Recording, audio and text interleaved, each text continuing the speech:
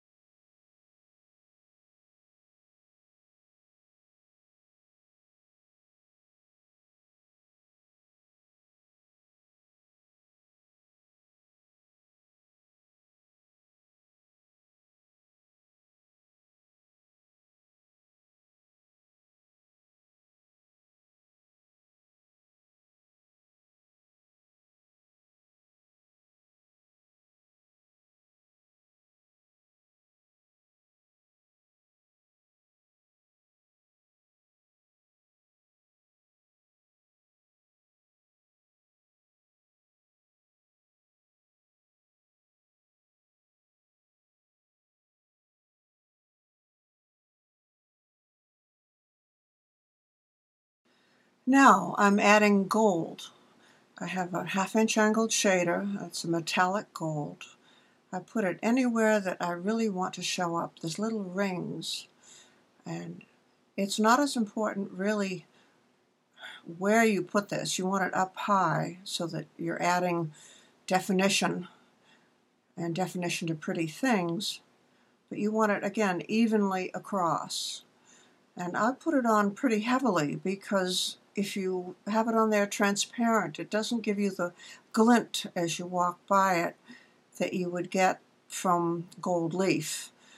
And um, you could use gold leaf, but I, I want it to look like that, so I'm putting it on. Hello again. Before I go, I wanted to share with you a project that I have in my living room. This is a projector painting. Uh, I started it with a projector, making a, a pattern and projecting it and um, painting it on canvas. This is a Flemish painting from the 1700s, so this is a fine art reproduction. I had a really good time with this. You can have a lot of fun with projector painting. Thank you again. Good. My student Linda is just starting her projector project. Here she's putting her projector design on with a pencil. Linda is covering her projected window design with blue tape, and then she'll paint her background right over that. And then peel off the tape, and you can see the window design. She decided to paint the wood and make it match her uh, kitchen woodwork. And you can see how it came out. She's going to put it up over her uh, kitchen sink where there's no window. Here's a scroll design I painted up over someone's dining room entryway. And here's a close-up of the finished scroll work. Thanks for watching.